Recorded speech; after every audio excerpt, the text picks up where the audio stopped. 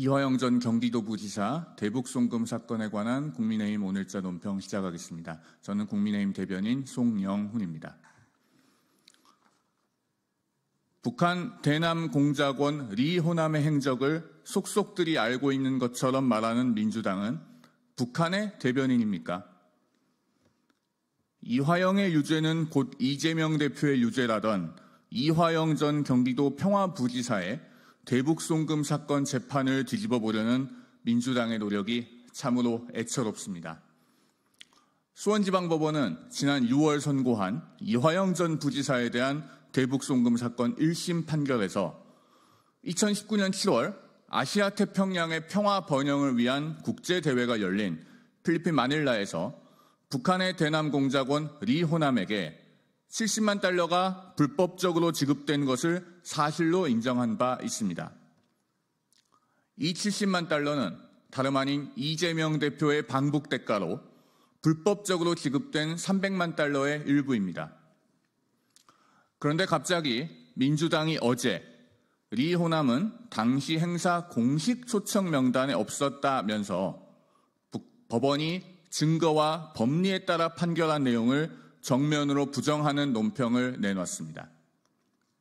법원이 60여 차례의 공판 기일에 걸쳐 핵심 증인들의 증언, 변호인의 반대 신문, 피고인 이화영 전 부지사 본인의 주장까지 직접 듣고 증거와 법리에 따라 내린 판단을 어떻게든 부정해 보려는 시도입니다.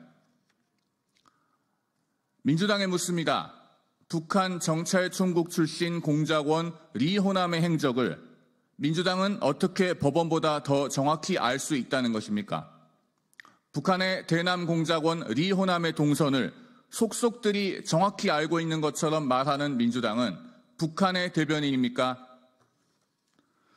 뜬금없이 이 시점에 북한 공작원이 언제 어디에 있었는지를 정확히 안다는 듯이 법원 판결을 부정하는 논평을 하는 민주당의 모습은 국민들께 이화영의 유죄는 곧 이재명 대표의 유죄라던 말을 상기시켜 줄 뿐입니다.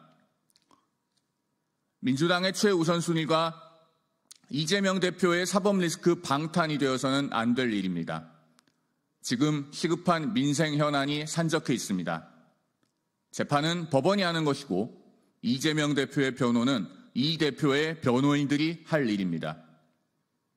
민주당은 책임 있는 공당으로서 당대표 방탄이 아니라 민생에 집중하는 모습을 보여주기 바랍니다. 2024년 8월 26일 국민의힘 대변인 송영훈